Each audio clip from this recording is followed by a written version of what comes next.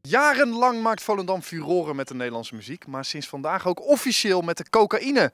Want dat ze hier kunnen snuiven, dat is wel duidelijk. Do you hear the story about Cocaine Lil? She had a cocaine house on Cocaine Hill.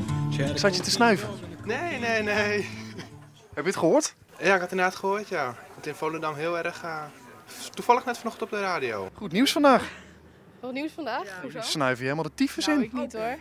Denk maar. Nee. Hoeveel snuiven jullie in de week? Ja, wel een paar gram hè. Ik heb het wel eens gebruikt, ja.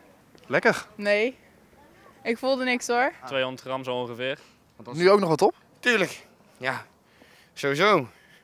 Hoort erbij hè. Dat is toch top? U houdt ervan. Ja, dat Het is komt. droevig nieuws voor u. ja, dat is oud, oud nieuws. Nog nooit gedaan eigenlijk. Zei ze met grote ogen.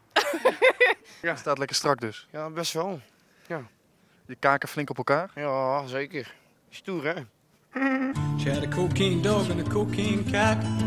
She even had a cocaine rat. Als je om je heen kijkt, je ziet allemaal mensen gewoon helemaal strak staan. Dat is best wel ernstig. Ik denk zelf kweken, joh. Dat het wat? Allemaal zelf kweken doen ze het. Zelf kweken. Zelf kweken, ja. Daar zijn ze hier goed in in Volendam. Ja, ik geloof het wel, ja. Ik heet Andy Schuurbiers, v- in de Freesiastraat 45 hè. Mensen willen stoer doen, denk ik. Eastwood Loco's, TBZ, je weet zelf. Ja, ik hou mijn neus erbij op. Cocaine sure running round my brain.